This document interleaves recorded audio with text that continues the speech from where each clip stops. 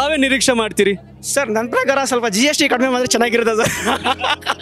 ಹರ್ ಘರ್ ತಿರಂಗ ಒಂದು ಕ್ಯಾಂಪೇನ್ ಮಾಡ್ತಿದ್ರಲ್ಲ ಎಲ್ಲ ಫ್ಲಾಗ್ ಹಾಸಿಂಗ್ ಮಾಡಿದ್ರೆ? ಅದು ಸ್ವಲ್ಪ ಮಾಡಿದೆ ಮನೆಯಲ್ಲಿ ಮಾಡಿ ಸೆವೆಂಟಿ ಫೈವ್ ಇಯರ್ಸ್ ಏನು ಬಂತು ಇದಕ್ಕಿಂತ ಮುಂಚೆ ಆಗಿರಲಿಲ್ಲ. This seventy five boat very much happiness to whole world to to India ನನ್ನ ಇಂಡಿಯಾ ಹೀಗಿರ್ಬೇಕು ಅನ್ನೋದು ಒಂದು ಇರುತ್ತೆ ಸೊ ಆ ಇಂಡಿಯಾ ಯಾವುದು?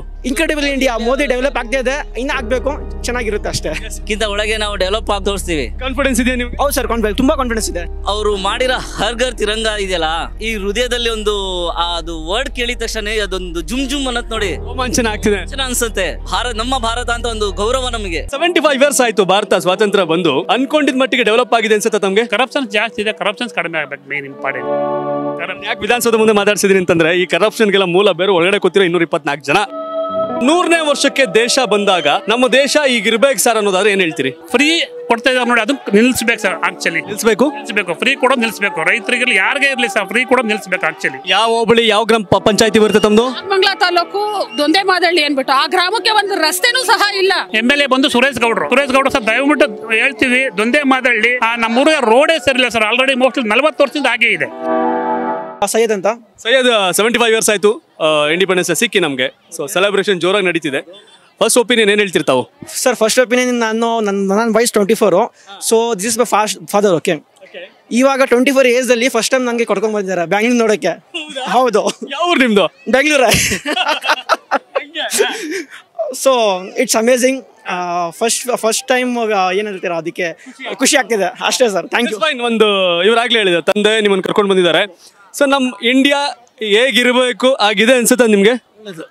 ಅಂತ ಅಂತದ್ದು ಅಂತದ್ದು ಓಕೆ ಇನ್ನು ಇನ್ನೇನು ಬದಲಾವಣೆ ಆಗಬೇಕು? ಮುಂದೆ ನೋಡ್ಬೇಕು ಏನಾಗುತ್ತೆ ಅಂತ. ತಾವೇ ನಿರೀಕ್ಷೆ ಮಾಡ್ತೀರಿ? ಸರ್ ನನ್ನ ಪ್ರಕಾರ ಸ್ವಲ್ಪ ಜಿ ಎಸ್ ಟಿ ಕಡಿಮೆ ಮಾಡಿದ್ರೆ ಚೆನ್ನಾಗಿರುತ್ತೆ ಸರ್. ಹೌದು. ಬಿಟ್ಟು ಹೇಳೋದಾದ್ರೆ? ನಥಿಂಗ್ ಇಟ್ಸ್ ಡೆವಲಪಿಂಗ್ ಚೆನ್ನಾಗಿದೆ ನನಗೆ ಕೂಡ ಒಂದು ಇಷ್ಟ ಇದೆ. ನೋಡೋಣ ಸರ್. ತಾವೇನು ತಾವೇನ್ ಹೇಳ್ತೀರಿ ಸರ್? ಮಗಳು ಏನೋ ಹೇಳ್ಬೇಕಂತೆ ಐ ಲವ್ ಎಸ್ ಕ್ಯೂಟ್ ಬಹಳ ಖುಷಿ ಆಗುತ್ತೆ. ಅಂಡ್ ಕಮಾನ್ ನೀವು ಈ ಕಡೆ ಬನ್ನಿ. ಒಂದು ಇವತ್ತು ಇಂಡಿಯಾ ಗವರ್ನಮೆಂಟ್ ಪ್ರೈಮ್ ಮಿನಿಸ್ಟರ್ ಅರ್ಗರ್ ತಿರಂಗ ಒಂದು ಕ್ಯಾಂಪೇನ್ ಮಾಡ್ತಿದ್ರು. ಎಲ್ಲ ಫ್ಲಾಗ್ ಹಾಸ್ಟಿಂಗ್ ಮಾಡಿದ್ರೆ? ಅದು ಸ್ವಲ್ಪ ಮಾಡಿದೆ ಮನೆಯಲ್ಲಿ ಮಾಡಿದೆ. ಸೊ ಈ ವರ್ಷ ನಿಮಗೆ specially it's very nice sir ಈ ಸೆವೆಂಟಿ ಫೈವ್ ಇಯರ್ಸ್ ಏನು ಬಂತು ಇದಕ್ಕಿಂತ ಮುಂಚೆ ಆಗಿರಲಿಲ್ಲ. This seventy five boat very much happiness to whole world to to India ಆದರೂ ಒಂದು ನಿರೀಕ್ಷೆಗಳಿರುತ್ತೆ. ವಾಟ್ ನೆಕ್ಸ್ಟ್ ಫ್ಯೂಚರ್ ಇಂಡಿಯಾ ಅನ್ನೋದಾದ್ರೆ? ವಿಲ್ ಸಿ ಸರ್ ಇನ್ನೊಂದು ಹರ್ ಘರ್ ತಿರಂಗಾಗ ಮತ್ಲಬ್ ಕುಚ್ so I saw some something in Instagram they told they have collected five hundred C R by this campaign ಅದು ನೋಡಿ ತುಂಬ ಇಷ್ಟ ಇದೆ ಸರ್ ಅದು. Five hundred C R it's very very important to India so ಅದು ನೋಡಿ ತುಂಬ ಇಷ್ಟ ಆಯಿತು ನನಗೆ ಫೈನ್ ಫೈನ್ಲಿ uh, ನೀವು ಆಗಲೇ ಹೇಳಿದ್ರಿ ಮುಂದೆ ಭವಿಷ್ಯ ಆಗಿರಬೇಕು ನಿರೀಕ್ಷೆಗಳಿರುತ್ತೆ ಬಟ್ ಇದಕ್ಕೆ ನಂಗೆ ಖುಷಿ ಆಗಿದೆ ಅಂತ. ಆದರೂ ಒಂದು ನನ್ನ ನನ್ನ ಇಂಡಿಯಾ ಹೀಗಿರಬೇಕು ಅನ್ನೋದು ಒಂದು ಇರುತ್ತೆ. ಸೊ ಆ ಇಂಡಿಯಾ ಯಾವುದು? ಸರ್ ಅದು ಇನ್ಕ್ರೆಡಿಬಲ್ ಇಂಡಿಯಾ ಮೋದಿ ಡೆವಲಪ್ ಆಗ್ತಾ ಇದೆ. ಇನ್ನೂ ಆಗಬೇಕು ಚೆನ್ನಾಗಿರುತ್ತೆ ಅಷ್ಟೇ. ನೀವೇನು ಹೇಳಿ ಮೋದಿ ಹೇಳಿಯಾರಲ್ಲ ಹಂಡ್ರೆಡ್ ಇಯರ್ಸ್ ಅದಕ್ಕಿಂತ ಒಳಗೆ ನಾವು ಡೆವಲಪ್ ಆಗಿ ತೋರಿಸ್ತೀವಿ. ಹಂಡ್ರೆಡ್ ಪರ್ಸೆಂಟ್ ಆಗ್ತೀವಿ. ಕಾನ್ಫಿಡೆನ್ಸ್ ಇದೆಯಾ ನಿಮಗೆ? ಹೌದು ಸರ್ ಕಾನ್ಫಿಡೆನ್ಸ್ ತುಂಬ ಕಾನ್ಫಿಡೆನ್ಸ್ ಇದೆ. ಎಸ್ ಫೈನ್ ಕೆಲಸದಲ್ಲಿ ಕಠಿಣ ಇಲ್ಲ ಅಂದರೆ ಕಷ್ಟ ಇಲ್ಲ ಅಂದರೆ ಏನು ಸಾಹಸಕ್ಕೆ ಮಾಡೋಕ್ಕೆ ಆಗಲ್ಲ. ಕಷ್ಟ ಇರುತ್ತೆ ಬಟ್ ಅದನ್ನು ನಾವು ಫುಲ್ಫಿಲ್ ಮಾಡಬೇಕಷ್ಟೇ. ಅಮ್ಮ ತಮ್ಮ ಹೆಸರು? ನೀವೇನು ಹೇಳ್ತೀರಿ? ನಾವು ಓಕೆ ಎಪ್ಪತ್ತೈದು ವರ್ಷ ಆಯ್ತು ಸೆಲೆಬ್ರೇಷನ್ ಬಗ್ಗೆ? ಚೆನ್ನಾಗಿದೆ ವೆರಿ ಹ್ಯಾಪಿ ಚೆನ್ನಾಗಿದೆ ಎಲ್ಲ ಚೆನ್ನಾಗಿ ಮಾಡಿದ್ದಾನೆ ಮೋದಿ ಎಲ್ಲ. ಇನ್ನೊಂದು ಅವರು ಮಾಡಿರೋ ಹರ್ಗರ್ ತಿರಂಗ ಇದೆಯಲ್ಲ ನಮಗೆ ಹಂಗ ಅನ್ಸ್ತಾ ಇದೆ. ಈ ಹೃದಯದಲ್ಲಿ ಒಂದು ಆ ಅದು ವರ್ಡ್ ಕೇಳಿದ ತಕ್ಷಣ ಅದೊಂದು ಜುಮ್ ಜುಮ್ ಅನ್ನತ್ ನೋಡಿ. ರೋಮಾಂಚನ ಆಗ್ತಿದೆ. ಚೆನ್ನಾಗ್ ಅನ್ಸುತ್ತೆ. ಓ ನಮ್ಮ ಭಾರತ ಎಲ್ಲಿದ್ರು ಇವಾಗ ಬೇರೆ ಕಡೆ ಎಲ್ಲಾದ್ರೂ ನೋಡಿ ಟರ್ಕಿ ಎಲ್ಲಾದ್ರೂ ಒಂಥರ ಒಂದು ಇದು ಭಾರತ ನಮ್ಮ ಭಾರತ ಅಂತ ಒಂದು ಗೌರವ ನಮಗೆ. ಪಾಪು ನೀನು ಹೇಳ್ತೀಯಾ? ಹೇಳು ಬೋಲ್ ಬೋಲ್ telling English only Yes, I am very happy. Yes okay ಬಹಳಷ್ಟು ಖುಷಿ ಹೇಳಿದ್ರು. ಇನ್ನೂರು ವರ್ಷಕ್ಕೆ ಈ ಥರ ಆಗುತ್ತೆ ಆಗಬೇಕು ಅನ್ನೋದನ್ನ ಮೋದಿ ಹೇಳಿದ್ದಾರೆ. ಅದ್ರ ಬಗ್ಗೆ ಭರವಸೆ ಇದೆ. ಒಂದಷ್ಟು ಸಮಸ್ಯೆಗಳಿರುತ್ತೆ. ಸಹಿಸ್ಕೊಂಡು ಹೋಗ್ಬೇಕು ಅನ್ನೋದು ಇವ್ರ ಮಾತು. ಅಂಡ್ ನನ್ನ ಹಿಂದೆ ಸರ್? ಮಾತಾಡ್ತೀರಾ? ಕನ್ನಡ ಬರುತ್ತಾ? ತಮ್ಮ ಹೆಸರು? ಬಸವರಾಜ್ ಅಂತ ಹೇಳಿ. ಯಾವ ಊರಿಂದ ಬಂದಿದ್ದೀರಿ ಸರ್ ನಮ್ದು ಬಾಗಲಕೋಟೆ. ಬಾಗಲಕೋಟೆ ಯಾವ ತಾಲೂಕಲ್ಲಿ? ಬೆಳಿಗ್ಗೆ ತಾಲೂಕು. ಬೆಳಿಗ್ಗೆ ಮುರುಗೇಶ್ ನಿರಾಣಿ ಅವ್ರ ಕ್ಷೇತ್ರ. ಓ ಈಗ ಇರೋದು ಬ್ಯಾಂಗ್ಳೂರ ಊರಲ್ಲ? ಈಗ ಬ್ಯಾಂಗ್ಳೂರ್ ಏನ್ ಮಾಡ್ತೀರಿ? ಸರ್ ನಾನು ಇಲ್ಲೇ ಪ್ರೈವೇಟ್ ಕಂಪ್ನಿಲಿ ವರ್ಕ್ ಮಾಡ್ತಾ ಇದ್ದೀನಿ. ಏನ್ ಹೇಳ್ತೀರಿ ಎಪ್ಪತ್ತೈದು ವರ್ಷ? ಹೌದು ತುಂಬಾ ಖುಷಿ ಆಗ್ತಾ ಇದೆ.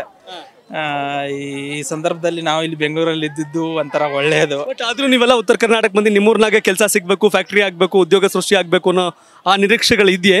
ಹಾ ಇದೆ ಸರ್ ಆ ಥರ ತುಂಬ ಇದೆ. ಡಿಮ್ಯಾಂಡ್ ಮಾಡಿದ್ದೀರಾ ನಿಮ್ಮ ನಾಯಕರುಗಳಿಗೆ? ಹಾ ನಮ್ಮ ನಾಯಕರು ಮಾಡ್ತಾ ಇದೀವಿ ಇವಾಗ. ಇವಾಗ ಇಸ್- ಇಂತಿಷ್ಟು ಇವಾಗ ಮಾತ್ರ ಫ್ಯಾಕ್ಟ್ರೀಸ್ ಅವೆಲ್ಲ ಇಂಡಸ್ಟ್ರೀಸ್ ಎಲ್ಲ ಬೆಳೀತಾ ಇದಾವೆ ಇವಾಗ ನಮ್ಮ ಕಡೆಗೆಲ್ಲ. ಇನ್ನೂ ಬೆಳಿಬೇಕು. So, ಇನ್ನು ನೂ ಎಪ್ಪತ್ತೈದು ವರ್ಷಕ್ಕೆ ಭಾರತ ಹೀಗೆ. ಇನ್ನು ನೂರನೇ ವರ್ಷಕ್ಕೆ ಏನು ನಿರೀಕ್ಷೆ ಮಾಡ್ತೀರಿ? ನಮ್ಮ ಭಾರತ ಹೇಗಿರ್ಬೇಕು ಅಂತ? ಇದಕ್ಕಿಂತ ಹತ್ತು ಪಟ್ಟು ಇನ್ನೂ ಎಕ್ಸ್ಟ್ರಾ ಆಗಬೇಕು ಅಂತ ನಾವು ಭವಿಷ್ಯದಲ್ಲಿ ಆ, ಇಷ್ಟಪಡ್ತೀವಿ ಸರ್. ಎಸ್ ಇದಕ್ಕಿಂತ ಹತ್ತು ಪಟ್ಟು ದೇಶ ಉದ್ಧಾರ ಆಗಬೇಕು. ಆ ನಿರೀಕ್ಷೆಗಳು ನಮ್ಮಲ್ಲಿದೆ. ಆಗತ್ತೆ ಅನ್ನೋ ಭರವಸೆ ಇದೆ. ಇವರು ಉತ್ತರ ಕರ್ನಾಟಕ ಬಾಗಲಕೋಟೆಯ ಬೆಳಿಗ್ಗೆ ಅವರು ಸೊ ಒಂದಷ್ಟು ಕೈಗಾರಿಕೆಗಳು ಬರ್ತಾ ಇದೆ. ಹೆಚ್ಚು ಹೆಚ್ಚು ಕೈಗಾರಿಕೆಗಳು ಬಂದಾಗ ನಮ್ಮ ಭಾಗ ಉದ್ಧಾರ ಆಗುತ್ತೆ. ನಮ್ಗೆ ಉದ್ಯೋಗ ಸಿಗುತ್ತೆ ಅನ್ನೋದು ಇವ್ರ ಅಭಿಪ್ರಾಯ. ಎಸ್, ನಿಮ್ಮ ಪ್ರಕಾರ ನೂರನೇ ವರ್ಷಕ್ಕೆ ಈ ಏನು ಸ್ವಾತಂತ್ರ್ಯಕ್ಕೆ ನೂರನೇ ವರ್ಷ ಆಗುತ್ತಲ್ಲ, ಅವತ್ತಿನ ಭಾರತ ಹೇಗಿರಬೇಕು ಅಂತೀರಿ? ಕಾಮೆಂಟ್ ಮಾಡಿ ತಿಳಿಸಿ. ಇದು ಕರ್ನಾಟಕ ಟಿವಿ, ಕನ್ನಡಿಗರ ಧ್ವನಿ. ಯಾರಿಗೆ ಬಂತು, ಎಲ್ಲಿಗೆ ಬಂತು ನಲವತ್ತೇಳರ ಸ್ವಾತಂತ್ರ್ಯ? ಎಪ್ಪತ್ತೈದು ವರ್ಷ ಆಗೋಯ್ತು. Seventy five year celebration Amrit Mahotsav ಇಡೀ ದೇಶಾದ್ಯಂತ ಹಬ್ಬ ಮಾಡ್ತಿದ್ದಾರೆ. ಅದರಲ್ಲೂ ನಮ್ಮ ಕರ್ನಾಟಕದ ಬೆಂಗಳೂರಿನ ವಿಧಾನಸೌಧದ ಮುಂದೆ ಲಕ್ಷಾಂತರ ಜನ ಸೇರಿದ್ದಾರೆ. ನಾನಿಲ್ಲಿ ಮಾ ನೋಡ್ತಾ ಇದ್ದೆ ಒಂದು ಫ್ಯಾಮಿಲಿ ಫೋಟೋಸ್ ತಗೋತಾ ಇದ್ದು. ಮೂಲ ನಾಗಮಂಗ್ಲದವರು ಬೆಂಗಳೂರಲ್ಲಿದ್ದಾರೆ. ಭಾಳ ಖುಷಿ ಆಯ್ತು. ಎಂಬತ್ತೈದು ವರ್ಷ ಸ್ವಾತಂತ್ರ್ಯ ಬರೋಕ್ ಮುಂಚಿತವಾಗಿ ಹತ್ತು ವರ್ಷ ಮೊದಲೇ ಹುಟ್ಟಿದ್ದಾರೆ ಗೌಡ್ರು. ನಮ್ಮ, ನಿಮ್ಮ ಸೌಭಾಗ್ಯ ಇದು ಎಂಬತ್ತೈದು ವರ್ಷ. ನಮ್ಮ ಜನ್ರೇಷನ್ಗೆ ಐವತ್ತು ವರ್ಷ, ಐವತ್ತೈದು ವರ್ಷ, ಅರವತ್ತು ವರ್ಷ ಮುಗೀತು ನಮ್ಮ ಕತೆ. ಆದ್ರೆ ಈ ಎಂಬತ್ತೈದು ವರ್ಷ ಜರ್ನಿ ನೋಡ್ತಿದ್ರಲ್ಲ, ಬಹಳ ಖುಷಿ. ಓಕೆ ಫೈನ್ ಏನು ಹೇಳ್ತೀರಿ ಸರ್ ತಾವು ಸರ್ ತುಂಬ ಸಂತೋಷ ಆಗತ್ತೆ. ಈ ವಿಧಾನಸೌಧದಲ್ಲಿ ಈ ನಮ್ಮದು ತ್ರಿವರ್ಣ ಧ್ವಜ ಮಾಡಿದಾರಲ್ಲ ಲೈಟ್ಸ್ ಎಲ್ಲ ಮಾಡಿದಾರಲ್ಲ, ತುಂಬ ಸಂತೋಷ ಆಗತ್ತೆ. ತುಂಬ I like seventy five years ಆಯಿತು ಭಾರತ ಸ್ವಾತಂತ್ರ್ಯ ಬಂದು. ಅನ್ಕೊಂಡಿದ್ದ ಮಟ್ಟಿಗೆ ಡೆವಲಪ್ ಆಗಿದೆ ಅನ್ಸುತ್ತೆ ತಮಗೆ? ಸರ್ ಆಗಿದೆ ಸರ್ ಹೌದು. ಆಗಿದೆ. ಡೆವಲಪ್ ಆಗಿದೆ. ಇನ್ನೇನು ಆಗಬೇಕು ಅಂತ ತಮ್ಮ ಲೆಕ್ಕಾಚಾರ? ಸರ್ ಇನ್ನೂ ಈ ಕರಪ್ಷನ್ಸ್ ಜಾಸ್ತಿ ಇದೆ. ಕರಪ್ಷನ್ಸ್ ಕಡಿಮೆ ಆಗಬೇಕು ಮೇನ್ ಇಂಪಾರ್ಟೆಂಟ್ ಕರಪ್ಷನ್ ಯಾಕೆ ವಿಧಾನಸೌಧ ಮುಂದೆ ಮಾತಾಡ್ಸಿದೀನಿ ಅಂತಂದ್ರೆ ಈ ಕರಪ್ಷನ್ಗೆಲ್ಲ ಮೂಲ ಬೇರೆ ಒಳಗಡೆ ಕೂತಿರೋ ಇನ್ನೂರ ಇಪ್ಪತ್ನಾಲ್ಕು ಜನ. ಅವರಲ್ಲಿ ಸರಿ ಹೋದ್ರೆ ಸರಿ ಹೋಗುತ್ತೆ ಅಂತ. ಎಸ್ ಅಮ್ಮ ನಮಸ್ಕಾರ. ಆಯ್ತಪ್ಪ. ತಮ್ಮ ಹೆಸರು? ಪಾರ್ವತಮ್ಮ ಅಮ್ಮಂಗೆ ಭಾಳ ಖುಷಿ. ಹಾ ಅಮ್ಮಂಗೆ ಭಾಳ ಖುಷಿ ಆಗುತ್ತೆ. ಅಮ್ಮ ಏನು ಮಾತಾಡ್ತಾರೆ ಗೊತ್ತಿಲ್ಲ. ಸರ್ ಬಟ್ ಫೈನ್ಲಿ ಅಮ್ಮ ತಮ್ಮ ಹೆಸರು? ಕೋಮ್ಲಾನ್.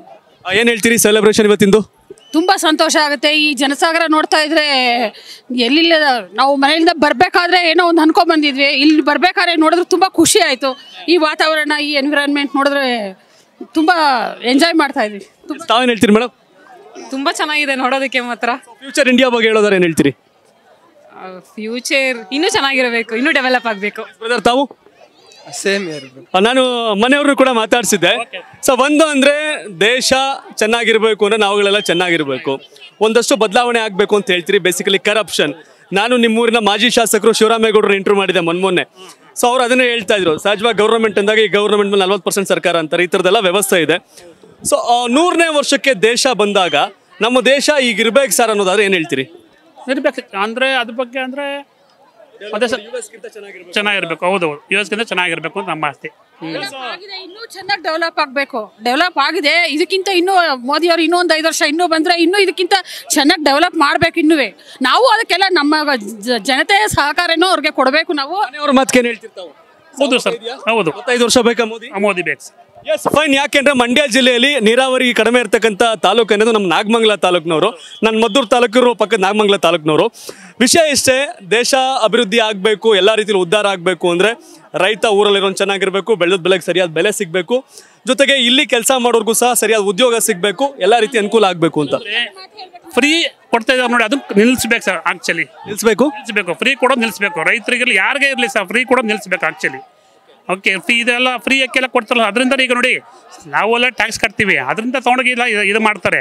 ಬಟ್ ಇವನ್ ಇವ ಎಂ ಎಲ್ ಎಗಳು ಸಹ ಅದನ್ನ ನಮ್ಮ ದುಡ್ಡನ್ನ ತಗೊಂಡು ಯೂಸ್ ಮಾಡಿ ಇದು ಮಾಡ್ತಾ ಇರ್ತಾರೆ ಅವ್ರು ಅಷ್ಟೇ ಬೇರೆ ಏನಿಲ್ಲ. ಅವ್ರ ಲಾಭಕ್ಕೆ? ಅವ್ರ ಲಾಭಕ್ಕೋಸ್ಕರ.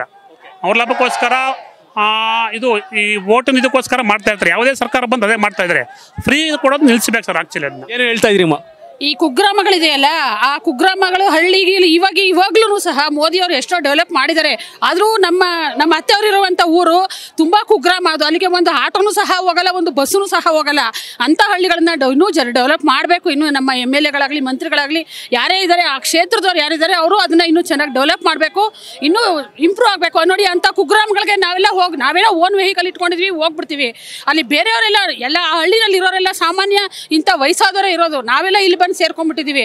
ಅಂತ ವಯಸ್ಸಾದವರು ಹೋಗ್ಬೇಕು ಅಂದ್ರೆ ಒಂದು ಆಟೋ ಮಾಡ್ಕೊಂಡು ಹೋಗ್ಬೇಕು ಒಂದು ಆಟೋಗವರು ಅವರು ಐವತ್ತು ರೂಪಾಯಿ ಕೊಡೋದಕ್ಕೆ ನೂರ ಐವತ್ತು ರೂಪಾಯಿ ಕೊಟ್ಟು ಹೋಗ್ತಾರೆ. ಅಂತ ಕಡೆಗೆ ಸ್ವಲ್ಪ ಆಟೋ ವ್ಯವಸ್ಥೆ ಆಗಲಿ ಬಸ್ಸಿನ ವ್ಯವಸ್ಥೆ ಆಗಲಿ ರೋಡ್ ಅಂತೂ ಮೊದಲೇ ಇಲ್ಲ. ಯಾವ ಹೋಬಳಿ ಯಾವ ಗ್ರಾಮ ಪಂಚಾಯತಿ ಬರುತ್ತೆ ತಮ್ಮದು ಮಂಗ್ಲಾ ತಾಲೂಕು ದೊಂದೆ ಮಾದಳ್ಳಿ ಅಂದ್ಬಿಟ್ಟು ಆ ಗ್ರಾಮಕ್ಕೆ ಒಂದು ರಸ್ತೆನೂ ಸಹ ಇಲ್ಲ. ಡೆವಲಪರ್ ಹೋಬಳಿ ಎಂ ಎಲ್ ಎ ಬಂದು ಸುರೇಶ್ ಗೌಡ್ರು. ಎಸ್ ಸನ್ಮಾನ್ಯ ಜೆ ಡಿ ಎಸ್ನ ಶಾಸಕರು ಸುರೇಶ್ ಗೌಡ್ರಿಗೆ ನೇರವಾಗಿ ಬೆಂಗಳೂರಿಂದ ವಿಧಾನಸೌಧ ಮುಂದೆಗಡೆಯಿಂದ ನೀವು ಕೂರೋ ಜಾಗದಿಂದ ಒಂದು ಮನವಿ ಕೊಡ್ತಾವ್ರು ನಿಮ್ಮೂರವರು. ಬಸ್ಸು ಗಿಸ್ಸು ಏನು ವ್ಯವಸ್ಥೆಗಳಿಲ್ಲ. ಆದಷ್ಟು ಬೇಗ ಮಾಡಿ ಅಂತ. ಸರ್ ನಮ್ಮೂರಿಗೆ ರೋಡ್ ಇಲ್ಲ. ಸರ್, ಹಾಂ, ಸುರೇಶ್ ಗೌಡ ಸರ್, ದಯವಿಟ್ಟು ಹೇಳ್ತೀವಿ ದೊಂದೇ ಮಾದಳ್ಳಿ ನಮ್ಮೂರಿಗೆ ರೋಡೇ ಸರಿಯಿಲ್ಲ ಸರ್. ಆಲ್ರೆಡಿ ಮೋಸ್ಟ್ಲಿ ನಲ್ವತ್ತು ವರ್ಷದಿಂದ ಹಾಗೆ ಇದೆ. ಫೈನ್ ನಾಗಮಂಗ್ಲದ ಸಮಸ್ಯೆಯನ್ನ ಬೆಂಗಳೂರಲ್ಲಿ ಇರ್ತಕ್ಕಂಥ ನಾಗಮಂಗ್ಲ ಮೂಲ ಜನ. ಮೊನ್ನೆ ಅಷ್ಟೇ ನೀವು ಶ್ರೀನಗರದಲ್ಲಿ ಯಾರೋ ನಾಗಮಂಗ್ಲದವ್ರು ಮನೆಗೆ ಹೋಗಿದ್ರಿ ಅಂತ ಸುರೇಶ್ ಗೌಡ್ರು ಹಾಕೊಂಡಿದ್ರು ಫೇಸ್ಬುಕ್ ಅಲ್ಲಿ. ಫೈನ್ ನಿಮ್ಮೂರಿನ ಜನ ಬೆಂಗಳೂರಲ್ಲಿ ಸಮಸ್ಯೆ ಹೇಳ್ತಾವ್ರೆ. ಆದಷ್ಟು ಬೇಗ ಅದನ್ನ ನಿವಾರಣೆ ಮಾಡಿ ರೋಡ್ ಸರಿ ಮಾಡಿ, ಊರಿಗೆ ಬಸ್ ಬಿಡಿ. ಯಾಕೆಂದ್ರೆ ಎಪ್ಪತ್ತೈದು ವರ್ಷ ಆಗಿದೆ ಸ್ವಾತಂತ್ರ್ಯ ಬಂದು. ಇನ್ನೂ ಆ ಊರಿಗೆ ಬಸ್ ಹೋಗೋ ಸ್ವಾತಂತ್ರ್ಯ ಇಲ್ಲ ರೋಡ್ ಆಗೋ ಸ್ವಾತಂತ್ರ್ಯ ಇಲ್ಲ ಅಂದ್ರೆ ಏನ್ ಪ್ರಯೋಜನ ಸ್ವಾಮಿ ಅನ್ನೋದು ಇವರೆಲ್ಲರ ಪ್ರಶ್ನೆ. ಎನಿಯೋ ಸಂಭ್ರಮದ ಜೊತೆಗೆ ಸಮಸ್ಯೆಗಳು, ಹಾಗೆ ಭವಿಷ್ಯದ ಭಾರತ ಏನೇನು ಅಂತೆಲ್ಲ ಚರ್ಚೆ ಮಾಡಿದ್ವಿ. ಬಹಳ ಖುಷಿ ಆಯ್ತು. ಥ್ಯಾಂಕ್ ಯು ಸೋ ಮಚ್ ನಿಮ್ಮ ಅಭಿಪ್ರಾಯ ಏನು? ಎಪ್ಪತ್ತೈದು ವರ್ಷ ಆಯಿತು. ನಿಮ್ಮ ಭಾರತ ಹೇಗಿರ್ಬೇಕು, ನಮ್ಮ ಭಾರತ ಹೇಗಿರಬೇಕಾಗಿತ್ತು, ಮುಂದೆ ಹೇಗಿರಬೇಕು ಅನ್ನೋದನ್ನು ಕಾಮೆಂಟ್ ಮಾಡಿ ತಿಳಿಸಿ. ಇದು ಕರ್ನಾಟಕ ಟಿವಿ ಕನ್ನಡಿಗರ ಧ್ವನಿ.